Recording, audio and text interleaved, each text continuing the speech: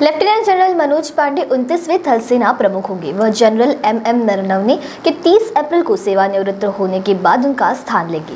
Lieutenant general Pandey अभी थल सेना के उप प्रमुख है। वह कोर ऑफ़ इंजीनियर के पहले अधिकारी होंगे, जो थल सेना के प्रमुख होंगे। इससे पहले पैदल सेना, तोपखाना और बख्तरबंद रेजिमेंट के अधिकारी ही तेरह लाख कर्मियों वाली थल सेना के प्रमुख होते रहे रक्षा मंत्रालय ने सोमवार को एक बयान में कहा कि सरकार ने लेफ्टिनेंट जनरल मनोज सिंह पांडे को अगला सेनाध्यक्ष नियुक्त किया है और उनकी नियुक्ति 30 अप्रैल दोपहर से प्रभावी होगी।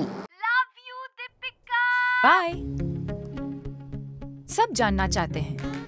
मेरा फेवरेट कलर मेरा फेवरेट डेस्टिनेशन मेरी फेवरेट डिश पर कोई ये नहीं पूछता कि फेवरेट डिश मैं बनाती कैसे हूँ। अरे यार जिसे टेस्टी खाना पसंद है वो अच्छे टेस्ट तक पहुँच ही जाता है।